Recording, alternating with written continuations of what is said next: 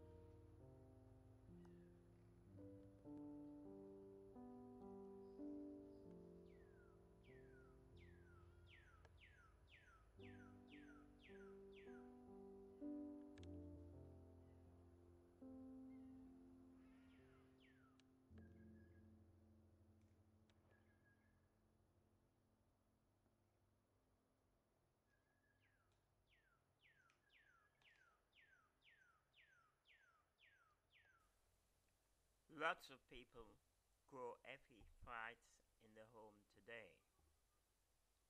Some try to mimic the natural situation by attaching these plants to driftwood or in containers whereby they behave exactly as they do on trees. Others take the easy way out by simply placing the plants in containers with the right kind of soil, which makes it easier for the plants to retain the moisture that is needed for these plants to survive. One thing is very important.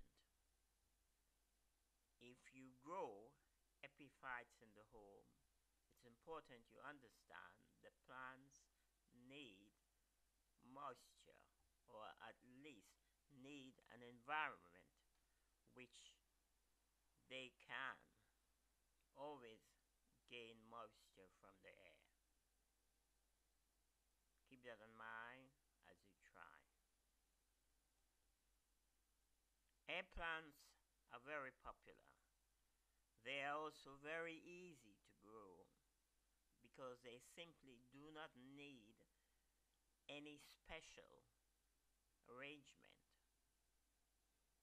You may find a container in order to make sure that they don't fall off the table or wherever you set it up. But unlike it's probably better if you come up with the right kind of container, air plants will always do well on its own.